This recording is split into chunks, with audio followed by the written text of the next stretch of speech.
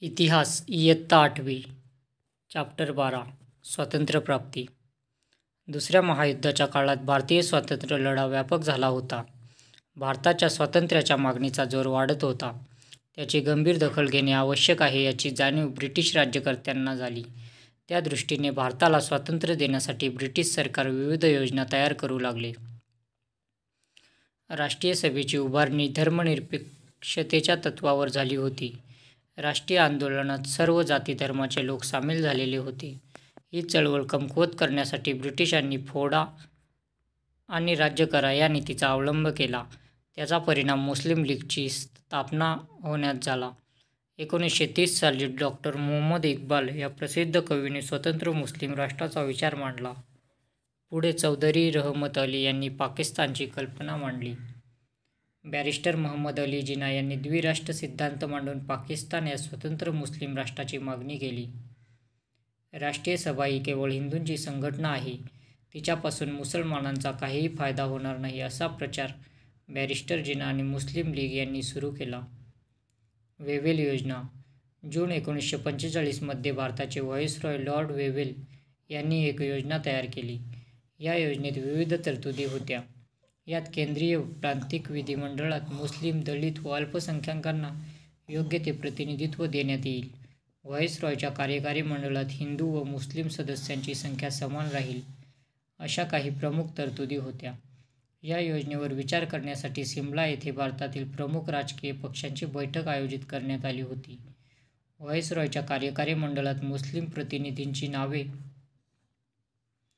सुचवण्याचा अधिकार केवळ मुस्लिम लीगला असावा, असावा बॅरिस्टर बॅरिस्टरजीनांनी आग्रह धरला.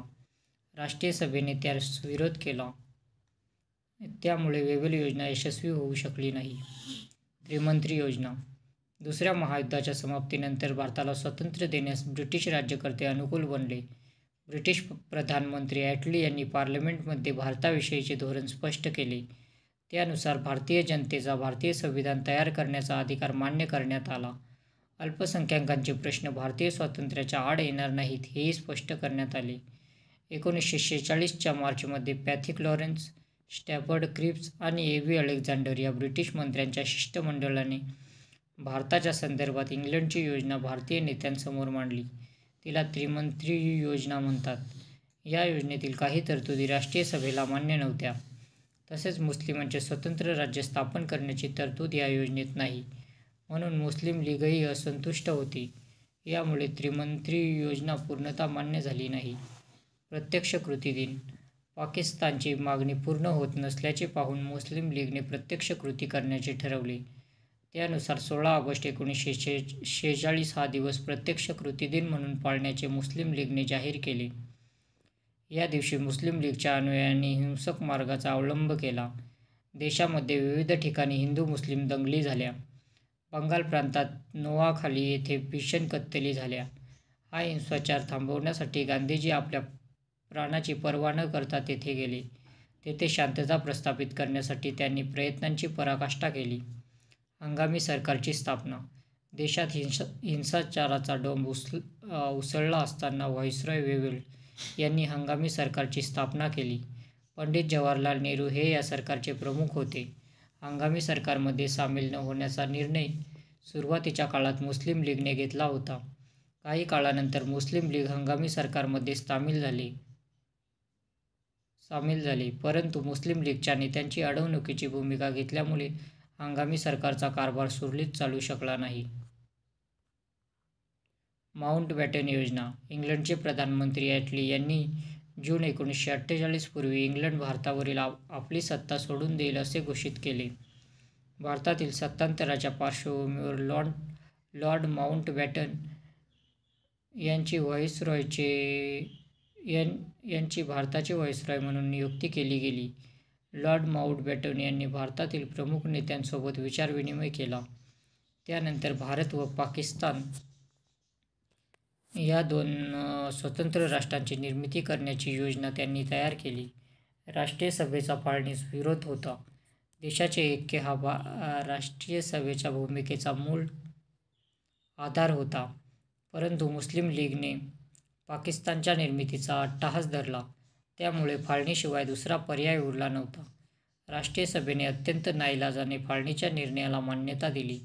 भारतीय स्वातंत्र्याचा कायदा माउंटबॅटन योजनेच्या आधारे अठरा जुलै एकोणीसशे सत्ते सत्तेचाळीस रोजी इंग्लंडच्या पार्लमेंटने भारताच्या स्वातंत्र्याचा कायदा संमत केला. पंधरा ऑगस्ट एकोणीसशे सत्तेचाळीस रोजी भारत व पाकिस्तान ही स्वतंत्र राष्ट्रे अस्तित्वात येतील. त्यानंतर त्यांच्यावर ब्रिटिश पार्लमेंटचा कोणताही अधिकार राहणार नाही. संस्थानांवरील ब्रिटिशांचे स्वामित्व संपुष्टात येईल. त्यांना भारत अथवा पाकिस्तानात सामील होता येईल किंवा स्वतंत्र राहता येईल, अशी तरतूद या कायद्यात करण्यात आली. स्वातंत्र्यप्राप्ती भारतीय स्वातंत्र्याच्या कायद्यानुसार पंधरा ऑगस्ट एकोणीसशे सत्तेचाळीस रोजी भारताला स्वातंत्र्य देण्यात आले. चौदा ऑगस्ट एकोणीसशे सत्तेचाळीसच्या मध्यरात्री दिल्ली येथे संसद भवनाच्या सभागृहात संविधान सभेची बैठक सुरू होती. मध्यरात्री बाराचे ठोके पडले आणि भारताचे पारतंत्र्य संपले. ब्रिटिशांचा युनियन जॅक खाली उतरवून त्याच्या जागी भारताचा तिरंगी ध्वज फडकवण्यात आला. दीडशे वर्षांच्या गुलामीतून भारत स्वतंत्र झाला. स्वातंत्र्यप्राप्तीचा आनंद निर्भेळ नव्हता. देशाची फाळणी झाली त्यावेळी झालेल्या भयानक हिंस हिंसाचारामुळे भारतीय जनता दुःखी होती. स्वातंत्र्य सोहळ्यात सहभागी न होता गांधीजी बंगालमध्ये जीवाचे रान करत होते. भारताला स्वातंत्र्य मिळाल्यानंतर अवघ्या सहा महिन्यात तीस जानेवारी एकोणीसशे अठ्ठेचाळीस रोजी नथुराम गोडसे यांनी गांधीजींची निर्घृण हत्या केली. हिंदू-मुस्लिम ऐक्य टिकवण्यासाठी गांधीजी अहर्निश झटले आणि त्यासाठी त्यांनी आपल्या प्राणांचे मोल दिले.